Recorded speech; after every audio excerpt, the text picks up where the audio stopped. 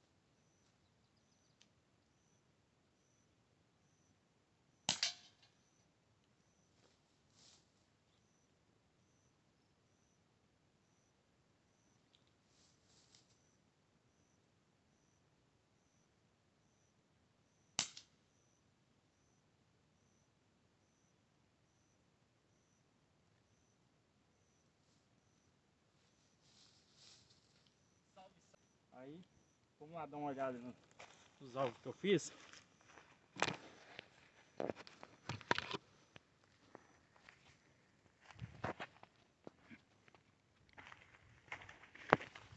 Aí, galera.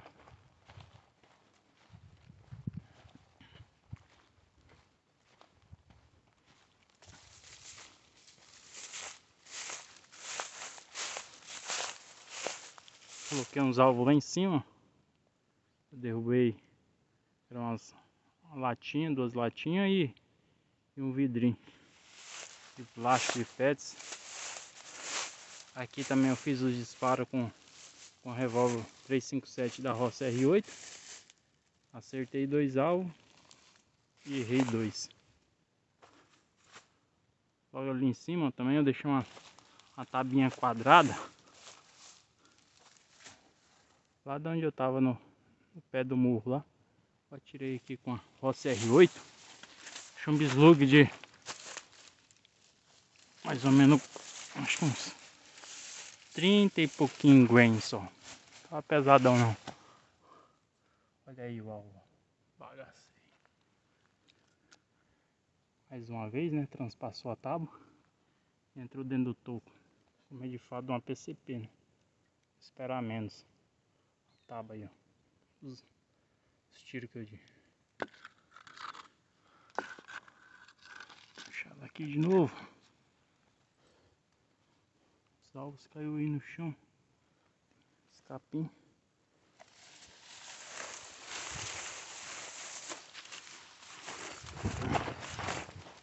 Do revólver aqui no chão.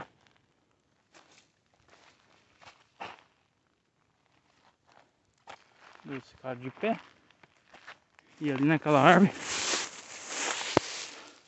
Achei o pé do morro também com a R8. Até aqui.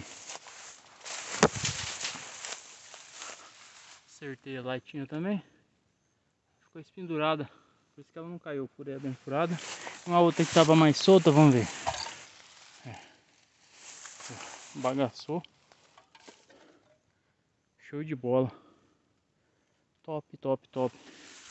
Só um videozinho simples mesmo, brincando mesmo. Top. Só o filé, galera. É isso aí. Se gostou, deixa aquele like, é nóis, tá? Tamo junto aí, só na brincadeira mesmo, vou passar o tempo. E é desse jeito. Falou!